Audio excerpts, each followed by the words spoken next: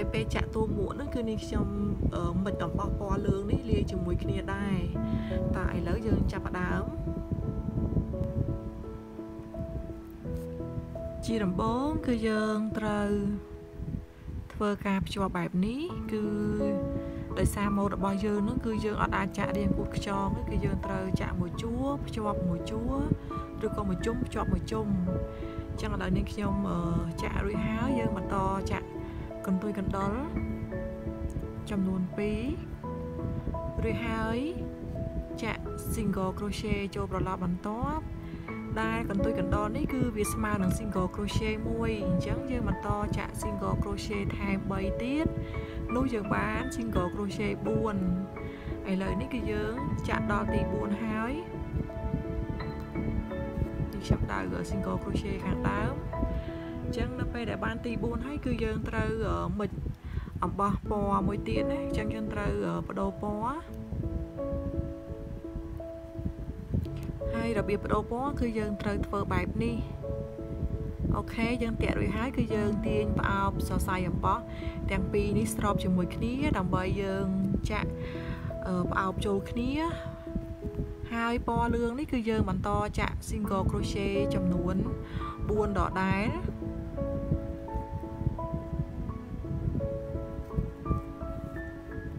1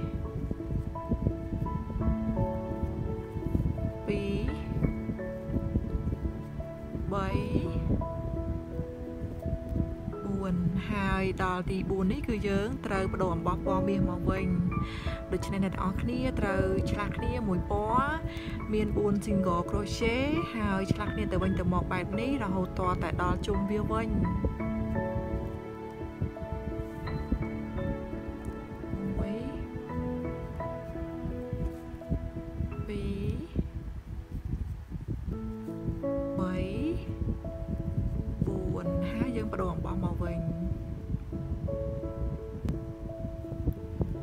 ខេឥឡូវជួរទី1របស់យើងចាក់ដល់វិលជុំហើយ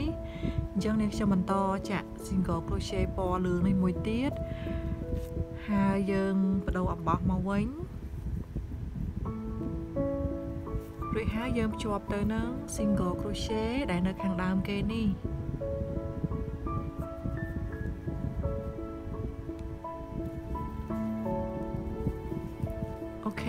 ទី1រួចរាល់ហើយហើយយើងបន្តចាក់កន្ទុយកណ្ដចំនួន2និងបន្តចាក់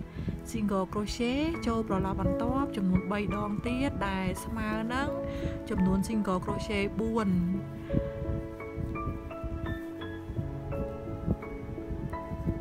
អូខេពេលបាន4នេះហើយយើងឆ្លាស់ពណ៌មកវិញដោយពណ៌ថ្មីនេះគឺយើងចាក់4ដែរ ដូច្នេះអ្នកទាំងអស់គ្នាត្រូវបន្តចាក់ឆ្លាស់គ្នាមួយពណ៌4មួយពណ៌4ហើយពណ៌នីមួយនីមួយគឺវាត្រួតស៊ីគ្នាបែបនេះអញ្ចឹងអ្នកទាំងអស់គ្នាត្រូវចាក់វាដដែលដដែលរហូតដល់វាវិលជុំមកវិញ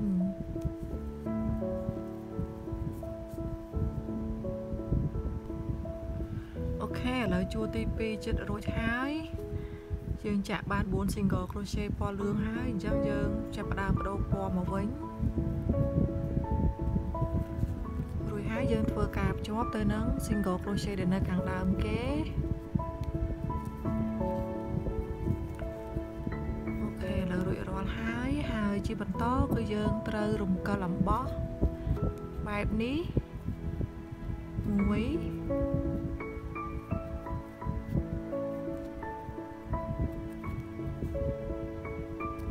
ពីរ ច្នេះយើងត្រូវរំកិលអំបោះ3ដងដើម្បីឲ្យអំបោះរបស់យើងនឹងមកនៅចំ single crochet ទី4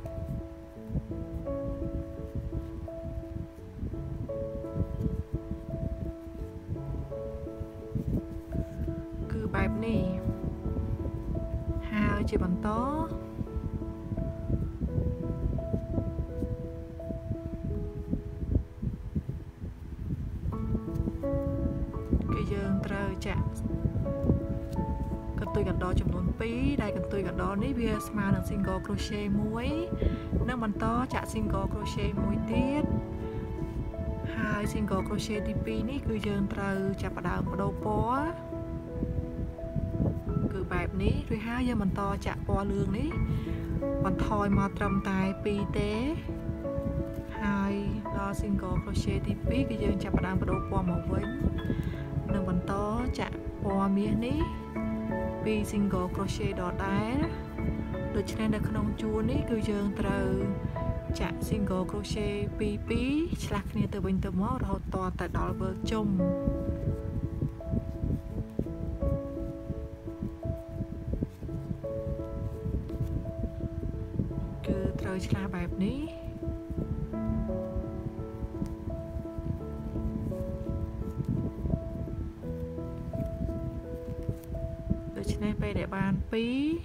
បដូរពណ៌ម្ដង បាន2បដូរពណ៌ម្ដង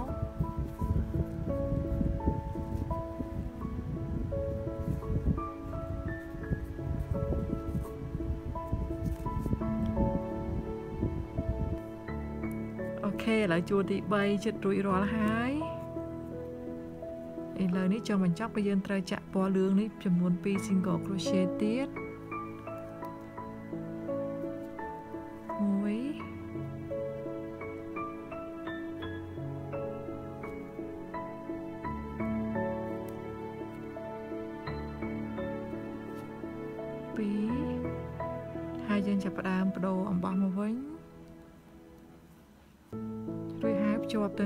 single crochet ដែលនៅខាងដើមគេ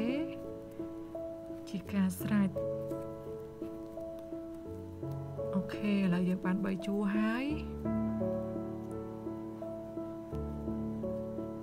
ហើយជាបន្តគឺយើងត្រូវ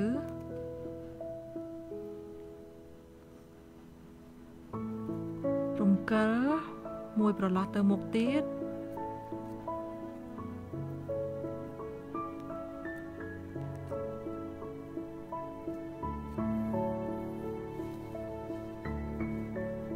គឺត្រូវធ្វើបែបនេះរួចហើយយើងចាក់កន្ទុយកណ្ដុរចំនួន1និងបដូរពណ៌លឿងមកវិញមួយទៀតហើយយើងចាប់ផ្ដើមចាក់ single crochet ពណ៌លឿងនេះចំនួន2 1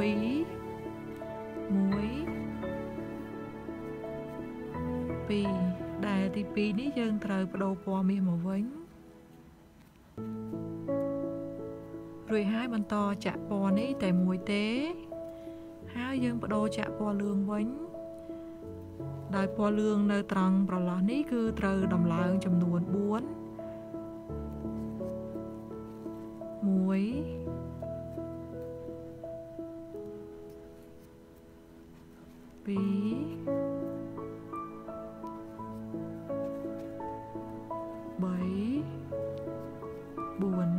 បដូរមកវិញដោយពណ៌មាសនេះគឺយើងចាក់តែមួយទេនិងបដូរពណ៌លឿងមកវិញ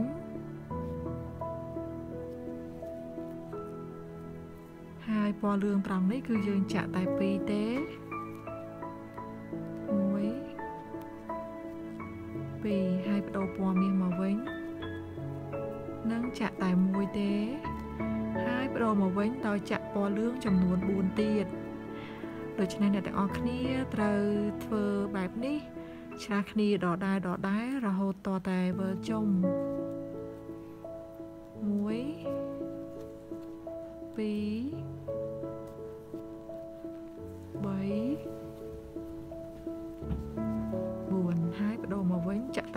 2 3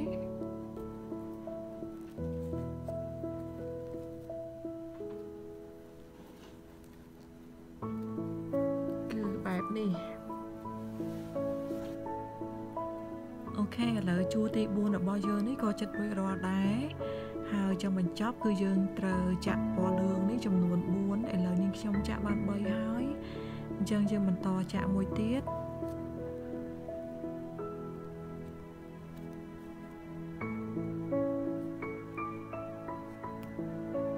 រួចហើយយើងធ្វើការដូរពណ៌អំបោះមកវិញ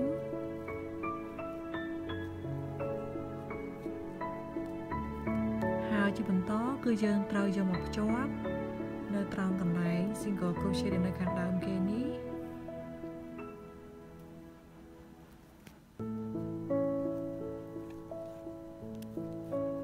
អូខេជាការស្រេច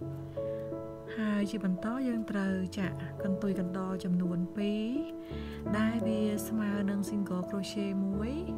1និងបន្តចាក់ single crochet ចំនួន3ទៀត ដូច្នេះនៅក្នុង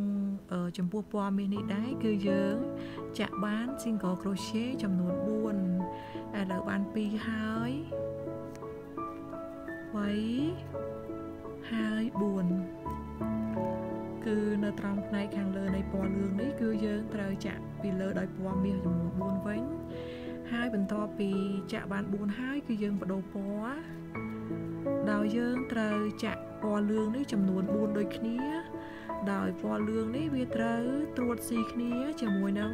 ពណ៌លឿងដែលនៅជួរខាងក្រោម2 3 4ហើយទី4នេះគឺយើងបដូរពណ៌មាសមកវិញរួច ហើយយើងចាក់ពណ៌លឿងនេះចំនួនពណ៌មាសនេះចំនួន4ទៀតដូច្នេះនៅក្នុងជួរនេះដែរគឺអ្នកទាំងអស់គ្នាត្រូវចាក់មួយពណ៌ចំនួន4 single crochet ហើយត្រូវឆ្លាស់គ្នាទៅវិញទៅមកដដែលដដែលរហូតតតែវិលជុំ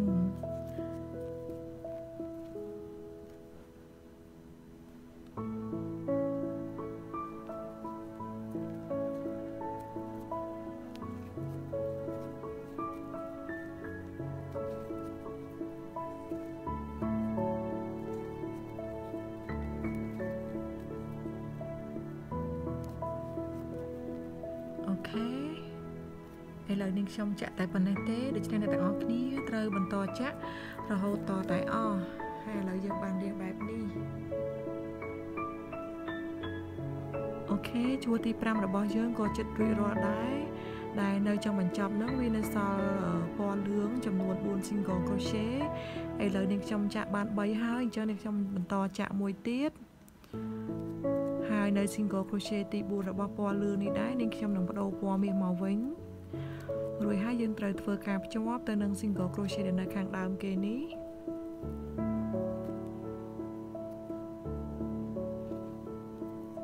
អូខេឥឡូវរួចរាល់ហើយហើយនៅពេលដែលអ្នកទាំងអស់គ្នាចាក់បានមួយជួរឬពីរជួរកុំភ្លេចយកដៃយើងហ្នឹងយើងទាញឬក៏តម្រង់ដើម្បីឲ្យ single crochet នៅក្នុងជួរនីមួយៗហ្នឹងវាមានលក្ខណៈស្មើគ្នាហាប់ណែនចូលគ្នាស្អាត គឺទាំងអស់គ្នាទាញបង្វិលវាបែបនេះមកអញ្ចឹងពេលដែលទាញទៅធ្វើឲ្យផ្ទៃមួកយើងវាមានលក្ខណៈហាប់ស្អាតណាហើយឥឡូវនេះយើងចាប់ផ្ដើមបន្តជួរទី6ហើយជួរទី6នេះដែរត្រង់កន្លែងពណ៌មាសនេះនាងខ្ញុំបន្ថយនៅសល់តែ2ទេជួរមុនយើងចាក់4អញ្ចឹងជួរនេះគឺយើងបន្ថយសល់តែ2ទេដូច្នេះយើងត្រូវរំកិលអំបោះមួយប្រឡោះគឺរំកិលបែបនេះ ហើយរំកិលរួចហើយ គឺអ្នកទាំងអស់គ្នាត្រូវចាក់កន្ទុយកណ្ដុរចំនួន2ដែលកន្ទុយកណ្ដុរនេះស្មើនឹង single crochet 1ហើយបន្តចាក់ single crochet មួយទៀតចូលទៅក្នុងប្រឡោះហើយ single crochet ទី2នេះ គឺយើងត្រូវបដូរពណ៌លឿងមកវិញ អូខេឥឡូវយើងបានពណ៌មាសនេះមាន single crochet 2ហើយហើយយើងបន្តចាក់ពណ៌លឿងដោយពណ៌លឿងត្រង់កន្លែងនេះយើងត្រូវដំឡើងឲ្យបាន6 single crochet អញ្ចឹងឥឡូវយើងចាក់5ចាក់1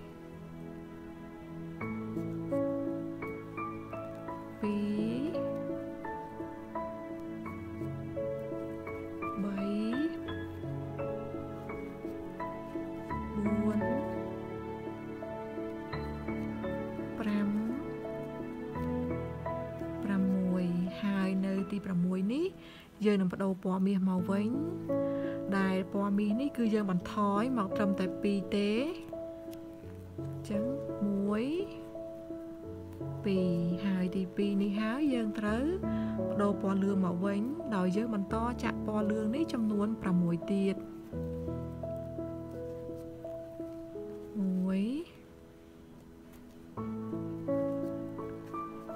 អ្នកទាំងអស់គ្នាមិនចាំបាច់រាប់ក៏បានដែរវាពីព្រោះនៅពេលដែលយើងចាក់ទៅគឺវាត្រូវកលាគ្នាវាបដិញគ្នាបែបនេះ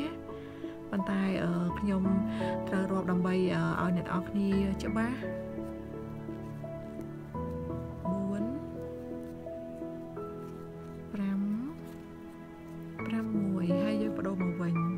អញ្ចឹងយើងឃើញថាកាឡារបស់យើងនេះវាចាប់ផ្ដើមមានលក្ខណៈប្រដេញគ្នាហើយបន្ទាប់មកយើង បដូរចាក់ពណ៌មាសនឹងចំនួន2វិញដូច្នេះអ្នកទាំងអស់គ្នាត្រូវតែធ្វើបែបនេះដដែលដដែលរហូតតតែវិលជុំ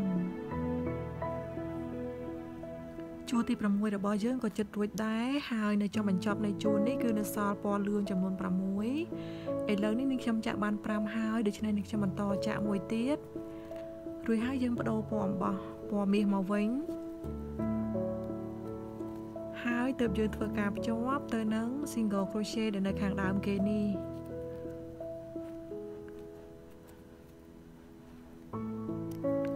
អូខេរួចរាល់ហើយ ហើយនៅជួរនេះដែរគឺយើងបន្តចាក់ពណ៌មាសចំនួន2ខាងលើដដែលហើយពណ៌លឿង6ដដែលដូច្នេះនៅក្នុងជួរនេះគឺយើងធ្វើដូចជួរមុនដែរហើយយើងផ្ដើមដោយកន្ទុយកណ្ដោចំនួន2ដែលស្មើនឹង single crochet 1 និងបន្តចាក់ single crochet មួយទៀតគឺស្មើនឹង single crochet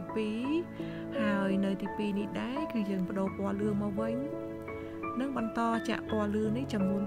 6ដោយត្រួតស៊ីគ្នាទៅនឹងជួរខាងក្រោមដែរ1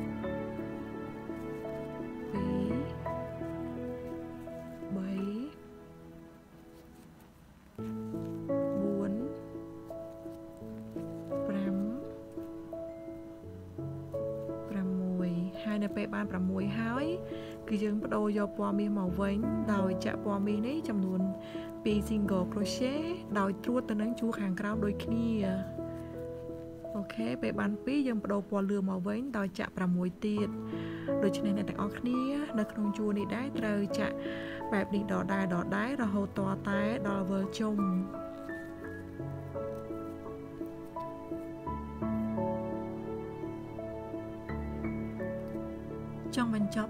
ជួរទី7គឺនៅសល់ single crochet ចំនួន6របស់ពណ៌លឿងអញ្ចឹងនាងខ្ញុំចាក់បាន5ហើយហើយជាបន្តគឺនាងខ្ញុំចាក់មួយទៀតរួចហើយយើងបដូរពណ៌អំបោះហើយធ្វើការភ្ជាប់ដើម្បីបញ្ចប់ជួរទី7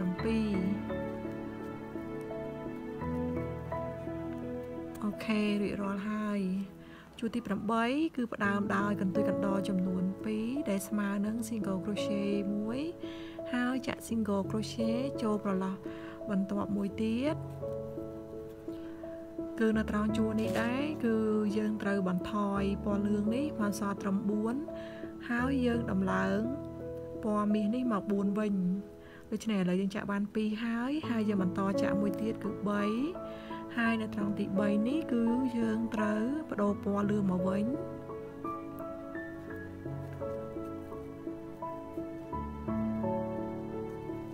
តែលើយើងចាក់ពណ៌លឿង1 2 3 4ដូច្នេះយើងបន្ថយមកត្រឹមតែ4ទេ ហើយដល់ single crochet ទី4យើងបដូរអំបោះហើយឆ្លាស់ជាមួយនឹងពណ៌មាសនេះត្រង់នេះគឺយើងចាក់វាដំឡើងពី single crochet 2ហ្នឹងមក4ម្ដង ដូច្នេះនៅក្នុងជួរនេះដែរគឺយើងត្រូវឆ្លាស់គ្នាមួយពណ៌4 single crochet មួយពណ៌4 single crochet រហូតតតែវិលជុំឥឡូវបាន4ហើយនាងខ្ញុំបដូរពណ៌លឿងមកវិញហើយពណ៌លឿងនេះគឺយើងបន្តចាក់4ដដែល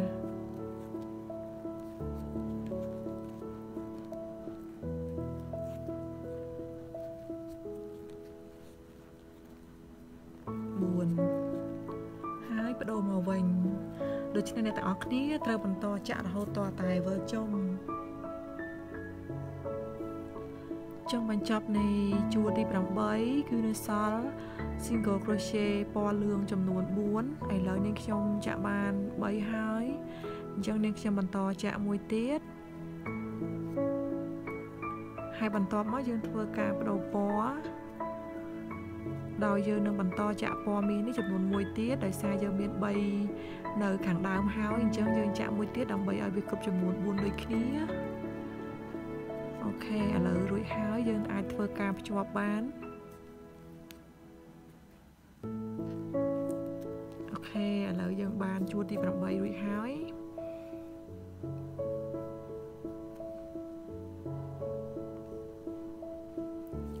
ជាបន្តគឺយើងត្រូវរំកិលអំបោះពណ៌មាសនេះចំនួន2ប្រឡោះគឺរំកិលបែបនេះឥឡូវយើងបានមួយហើយហើយនឹងមួយទៀតចំនួន2ដងអូខេឥឡូវរួចហើយ គឺជារំកិលដើម្បីឲ្យពណ៌មាសហ្នឹងវាមកត្រង់កន្លែងពណ៌មាសទី4ណានៅនៅជួរខាងក្រោមហ្នឹងហើយបន្ទាប់មកយើង ចាប់ផ្ដើមចាក់កន្ទុយកណ្ដុរចំនួន1សិន និងឆ្លាស់ពណ៌លឿងមួយទៀតគឺបែបនេះហើយពេលដែលបានពណ៌លឿងបែបនេះរួចហើយទើបយើងបន្តចាក់ពណ៌លឿងនេះឲ្យបានចំនួន4 single crochet ដដែលដែលត្រួតជីគ្នាជាមួយនឹងជួរខាងក្រោម2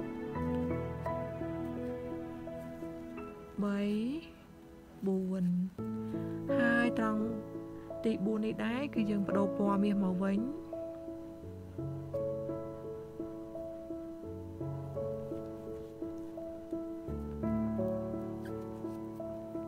តែពណ៌មាសត្រង់កន្លែងនេះគឺយើងចាក់តែមួយទេដោយយើងបដូរពណ៌លឿងមកវិញទៀត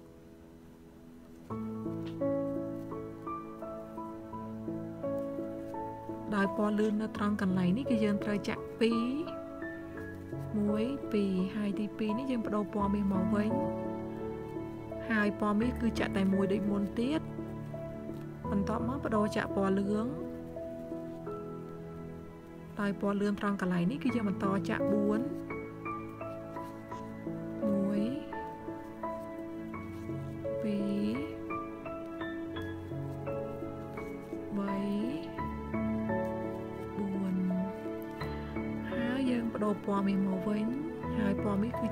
មួយទេ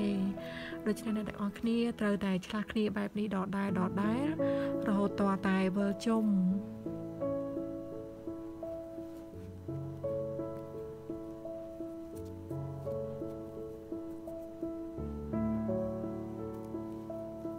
ចុះបញ្ចប់ជួរទី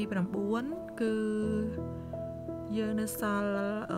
អំបោះពណ៌លឿងនេះដោយមាន single crochet ចំនួន4 ហើយបន្ទាប់មកគឺយើងបន្តចាក់ពណ៌មាសចំនួន1ហើយយើងឆ្លាស់មកពណ៌លឿងវិញដោយសារនៅចន្លោះនេះគឺយើងត្រូវប្រើពណ៌លឿងពី single crochet ហើយឥឡូវគឺយើងនៅសល់ពីប្រឡោះដូច្នេះនេះខ្ញុំចាក់ពណ៌លឿងចំនួន2ដង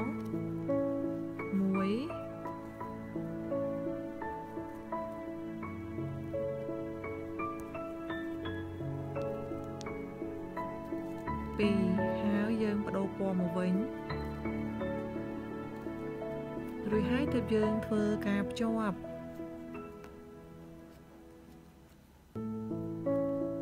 អូខេឥឡូវយើងរួចរាល់ហើយជួរទី10គឺយើងត្រូវចាប់ផ្ដើមដោយកន្ទុយកណ្ដុរចំនួន2គឺពណ៌មាសនេះដដែលហើយយើងបន្តចាក់ single crochet ចូលប្រឡោះបន្ទាប់ហើយនៅត្រង់កន្លែងពណ៌លឿងនេះគឺយើងបន្ថយមកសល់តែត្រឹម2ទេដូច្នេះឥឡូវនេះខ្ញុំនឹងបដូរអំបោះរួចហើយបន្តចាក់ single crochet ចំនួន2 1 2ហើយយើងបដូរអំបោះមកវិញនិងបន្តចាក់ពណ៌មាសនេះវិញចំនួន2ដែរ1 2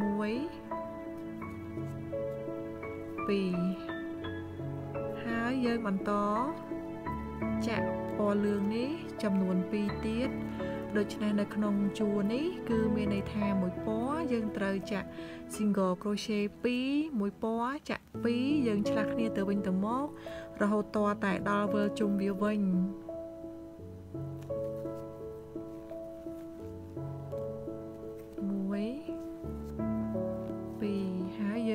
មកវិញ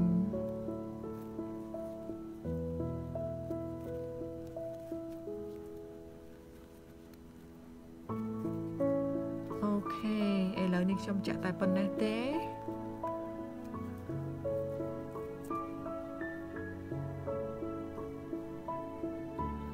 ចង់បញ្ចប់នៃជួរទី10គឺយើងត្រូវចាក់ single crochet ពណ៌លឿងនេះចំនួន2 យើងបដូរពណ៌មាសមកវិញហើយយើងធ្វើការភ្ជាប់ដើម្បីបញ្ចប់ជួរនេះ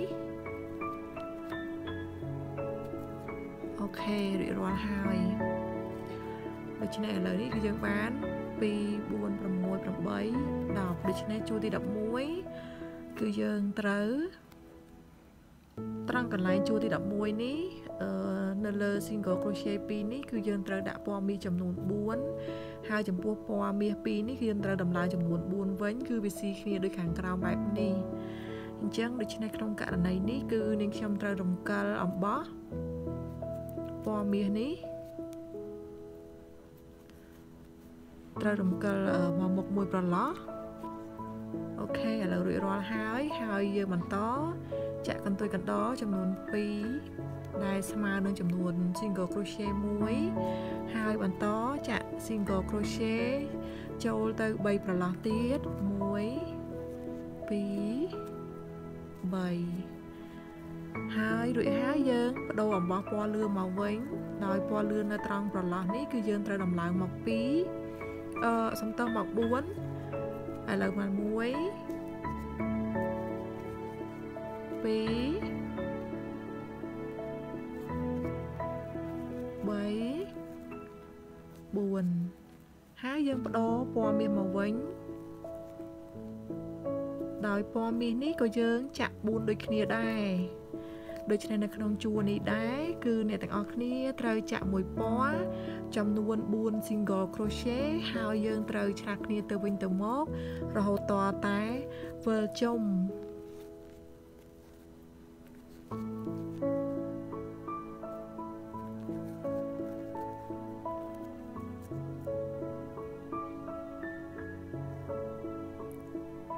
បញ្ចប់នៃជួរទី11គឺនៅសល់ single crochet ពណ៌លឿងចំនួន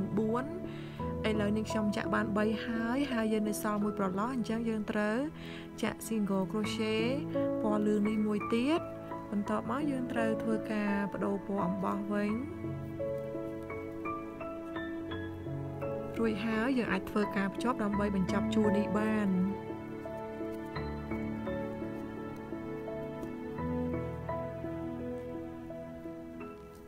អូខេឥឡូវរួចរាល់ហើយយើងឃើញថាកលាកោមរបស់យើងនឹងវាចេញរូបរាងច្បាស់ហើយហើយនៅក្នុងជួរនេះដែរគឺយើងត្រូវចាប់ផ្ដើមដោយកន្ទុយកណ្ដោចំនួន2ដែលវាស្មើនឹង single crochet មួយដែរហើយយើងបន្តចាក់ single crochet ចំនួន3ទៀត1 2 3នោះយើងនឹងបានចំនួន4 single crochet ហើយបន្ទាប់មកនៅ single crochet ទី4នេះគឺយើងត្រូវឆ្លាស់ពណ៌លឿងមកវិញដោយពណ៌លឿងនេះដែរក៏យើងបន្តចាក់4 single crochet ដូចគ្នាដូច្នេះនៅក្នុងប្រឡោះនេះសំទោសនៅក្នុងជួរនេះដែរគឺយើងត្រូវចាក់ single crochet មួយពណ៌ចំនួន4ហើយយើងឆ្លាស់គ្នាទៅវិញទៅមកបែបនេះរហូតតតែដល់ជុំវាវិញ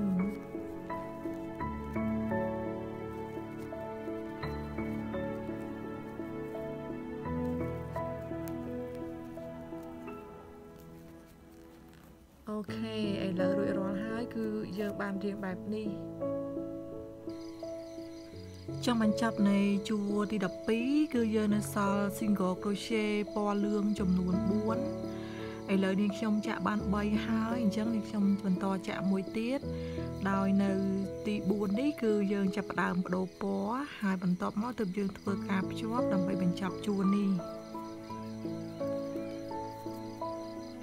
អូខេឥឡូវនេះខ្ញុំភ្ជាប់រួចហើយដូច្នេះ កលាគោមរបស់យើងហ្នឹងគឺវាមានលក្ខណៈពេញលេញហើយ គឺមាន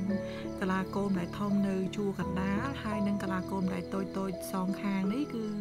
នៅអមសងខាងដូច្នេះយើងបានពេញលេញហើយហើយនាងខ្ញុំក៏បញ្ចប់កលាគោមត្រឹមនេះដែរក៏ប៉ុន្តែដោយសារតួខ្លួននៃមួករបស់យើងទៅតែបានរៀងខ្លីដែរទេមិនទាន់បានប្រវែងដែលនាងខ្ញុំចង់បានទេដូច្នេះបន្តពីជួរទី12នេះទៅ គឺនាងខ្ញុំនឹងចាក់ single crochet សតហើយយើងប្រើតែពណ៌អំបោះតែមួយទេ គឺនាងខ្ញុំនឹងបន្តពណ៌នេះដោយយើងចាក់ single crochet បន្តរហូតដល់បានទំហំដែលខ្លួនឯងចង់បានដូច្នេះឥឡូវផ្ដើមដំបូងគឺនេះខ្ញុំចាក់កន្ទុយកតលតែមួយទេ ហើយបន្ទាប់មកទៅចាក់ single crochet ចូលប្រឡោះបន្ទាប់ និងបន្តចាក់ single crochet មួយចូលមួយប្រឡោះគ្រប់ប្រឡោះទាំងអស់ឬមានន័យថាជួរ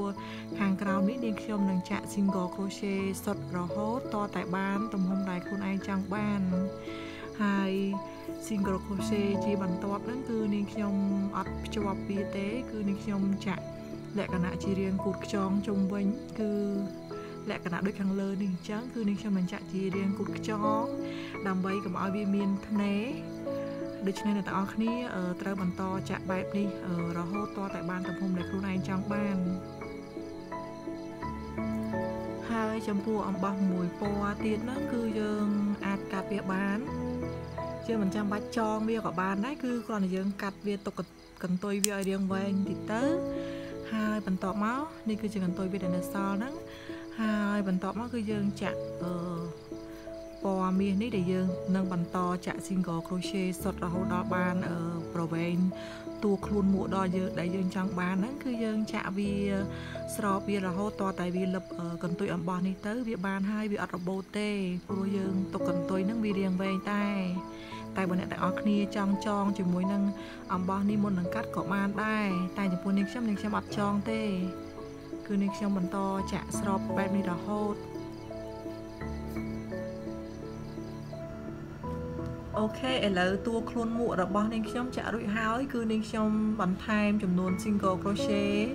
ចំនួន5ជួរទៀតដូច្នេះឥឡូវនេះនាងខ្ញុំនឹងធ្វើការវ៉ាដោយសារមួកនេះដែរគឺនាងខ្ញុំចាក់ជាទំហំធំអញ្ចឹងសម្រងនៃមួករបស់នាងខ្ញុំនឹងក៏វាវែងជាងធម្មតាដែរ គឺបាន20សង់ទីម៉ែត្រដូច្នេះចំពោះអ្នកទាំងអស់គ្នាគួរតែយកសម្រងត្រឹមតែ17ឬក៏18អីបានហើយហើយចំណែកតួខ្លួនវិញគឺប្រវែងជុំវិញរបស់វាគឺ61សង់ទីម៉ែត្រគឺជាទំហំមួយដែលធំហើយដូច្នេះអ្នកទាំងអស់គ្នាអាចយកទំហំនេះដើម្បីផ្ទៀងផ្ទាត់ជាមួយនឹងទំហំខ្លួនឯងបើសិនជាអ្នកទាំងអស់គ្នាមានទំហំដែល តូចជាងនេះដូច្នេះយើងត្រូវតែបន្ថយចំនួន single crochet ចំនួនជួរទៅតាមនឹង